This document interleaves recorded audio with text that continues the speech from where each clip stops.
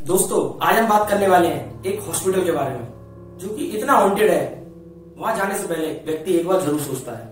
दोस्तों, भारत में मौजूद है एक से एक बढ़कर रहस्यमय जगह। है और आज हम बात करने वाले हैं एक ऐसी रहस्यमय जगह के बारे में, जो कि उत्तराखंड के चंपावत ज़िले में मौजूद है, जिसे माउंट एवर्ट कहा जाता है। दोस्तों, यहाँ मौजूद है एक इमारत, जो लोगों की नज़र में एक हॉस्पिटल हुआ करता था। लेकिन वास्तव में यहाँ हो रही थी एक खतरनाक रिसर्च जिसकी वजह से लोगों को अपनी जान गंवानी पड़ी थी। दोस्तों, क्या था ये माजरा? क्या उत्तराखंड की सबसे भूतिया जगह से एक क्यों मानी जाती है?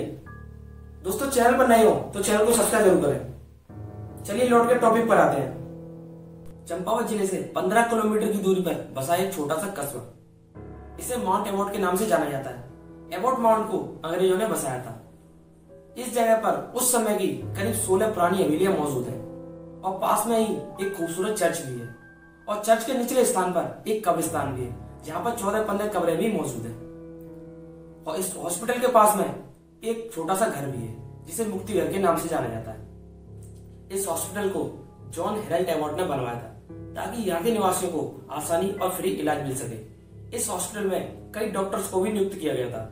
इस हॉस्पिटल के अंग्रेज़ी डॉक्टर ने भी अपना कार्यभार संभाला। फिर यहाँ आया डॉक्टर मॉरिस डॉक्टर मॉरिस बहुत ही अनुभवी डॉक्टर था, जो यहाँ आने वाले मरीजों को बहुत जल्दी ठीक कर देता था। इसी कुशलता के कारण डॉक्टर मॉरिस और ये हॉस्पिटल चंपावत ज़िले में काफ़ी मशहूर होने लगा। जिन मरीजों का इलाज संभव नहीं था, या जो मरीज़ अपने ज़िंदगी के अंतिम दिनों में हुआ करते थे, डॉक्टर मॉरिस उन्हें साफ़ साफ़ बता देते थे कि वो कितने दिन जीवित और रह सकता है। और धीरे धीरे ये डॉक्टर मॉरिस की आदत सी बन गई और वो लोगों के बारे में भविष्यवाणियाँ करने लगा कि कौन सा व्यक्ति किस दिन और कितने बजे मरेगा। हैरानी की बात तो यह है, डॉक्टर मॉरिस जिस मरीज़ के बारे में भविष्यवाणी करता था वो व्यक्ति उसी समय और उसी दिन मरता था। इसी भविष्यवाणी को देखते हुए वहाँ के भोले वाले लोग, डॉक्टर मॉरिस को दिव्य शक्तियों का स्वामी समझने लगे। और डॉक्टर मॉरिस भी अपनी बढ़ती हुई शौरत को देखकर काफ़ी खुश था। और कुछ ही समय बाद डॉक्टर मॉरिस की पत्नी और उसके बच्चे की मौत हो जाती है। और पास में ही एक छोटे से कब्रिस्तान में उसे दफना दिया जाता है। और कुछ ही समय बाद डॉक्टर मॉरिस की भी मौत हो जाती है। उन्हें भी अपनी फैमिली के पास दफना दिया जाता है। फिर इस हॉस्पिटल में कई डॉक्टर्स आए। उन्होंने देखा, डॉक्टर मॉरिस की भविष्यवाणियाँ और दिव्य शक्तियों के बारे में सुना तो उन्हें दाल में कुछ काला महसूस हुआ। उन्हें लगा कि अगर ये सच है तो डॉक्टर मॉरिस को अपनी पत्नी और बच्चे की मौत का बोध क्यों नहीं हुआ? और उन्हें खुद अपनी मौत का बोध क्यों नहीं हुआ? जाँच में यह खुलासा हुआ कि वास्तव में डॉक्टर मॉरिस बहुत ही आलसी व्यक्ति था। वो एक दिन में 10 से 15 मरीजों को ही देखता था।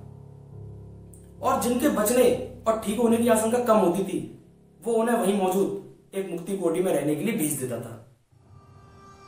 और उस मुक्ति कोटी में व्यक्ति एक बार जाने के बाद वो वापस कभी नहीं आता था। और उस मुक्ति कोटी में जाने की अनुमति डॉक्टर्स और उसके कुछ सहयोगियों की थी।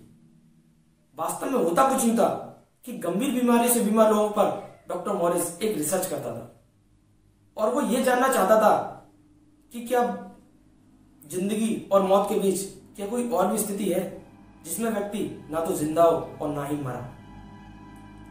डॉक्टर मॉरिस उन ज़िंदा लोगों का दिमाग खोल देता था और यह पता लगाने की कोशिश करता था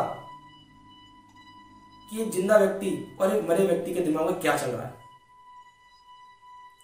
और वो इंजेक्शन और दवा की मदद से उनको वो एक ऐसी स्थिति में रखता था कि जिससे व्यक्ति ना तो ज़िंदा हो, ना ही मरा। दूसरे शब्दों में से समझा जाए तो डॉक्टर मॉरिस ये पता लगाने की कोशिश कर रहा था कि किसी इंसान की ज़िंदगी खत्म होने और मौत आने के बीच का जो समय होता है, उस समय वो इंसान के दिमाग में क्या चल रहा होता है? वो क्या सोच रहा होता है? और उसकी मनोदशा कैसी होती है? इसी रिसर्च के कारण डॉक्टर मॉरिस उस गाँव के बीमार लोगों को अपना शिकार बनता था। किसी व्यक्ति की मौत का दिन और सही समय बताने के पीछे कोई विशेष शक्ति नहीं थी। बल्कि डॉक्टर मॉरिस खुद था। और ठीक उसी समय से, कुछ टाइम पहले, वो मरीज़ का शोध करता था। और फिर डॉक्टर मॉरिस के बताए टाइम पर उसकी मौत हो जाती थी। और डॉक्टर मॉरिस की इसी घटिया हरकत को, वहाँ के लोग उसकी शक्तियाँ और प्रतिभा समझ रहे थे। और इस रिसर्च का खुलासा होने के बाद, एक हुनरमंद डॉक्टर द्वारा चलाया जा रहा एक विख्यात हॉस्पिटल एक कुख्यात हॉस्पिटल में बदल गया। और कुछ ही समय उपरांत इस हॉस्पिटल को बंद करना पड़ा। क्योंकि डॉक्टर मॉरिस की रिसर्च वाली खबर आने के बाद कोई भी इस अपने इलाज के लिए इस हॉस्पिटल में नहीं आता था। और ये हॉस्पिटल एक वीरान बन चुका था। और वहाँ स्टाफ का कहना था कि यहाँ पे रखा सामान एक जगह से दूसरी जगह अपने आप चला जाता है। और ये हर एक कोने से डरावनी आवाज़ सुनाई देती है। और हमें ऐसा लगता है जैसे कि हमें कोई भूल रहा हो। और ये धीरे धीरे डरावनी घटनाएँ और ज़्यादा बढ़ने लगती है। और वहाँ के स्टाफ मेंबर्स का वहाँ की आत्माओं से सामना होने का दावा किया जाने लगा। और दो स्टाफ मेंबर्स को वहाँ की आत्माओं ने अपने कब्जे में कर लिया था। और कुछ ही दिनों बाद उन दो स्टाफ मेंबर्स की एक बुरी स्थिति में मौत हो जाती है। अब वहाँ के लोगों को लगने लगा था कि माउंट एवर्ट का ये हॉस्पिटल भूतिया और काफ़ी डरावना हो चुका है। तो धीरे धीरे वहाँ के लोगों ने इसे खाली करना शुरू कर दिया। और अब यह इंडिया की सबसे डरावनी जगह में से एक हो गया था। तो दोस्तों, क्या आप भी ऐसी जगह जाना चाहोगे? कमेंट करके ज़रूर बताएँ और वीडियो को एक लाइक करके चैनल को सब्सक्राइब ज़रूर करें। मिलते हैं आपसे अगली वीडियो में।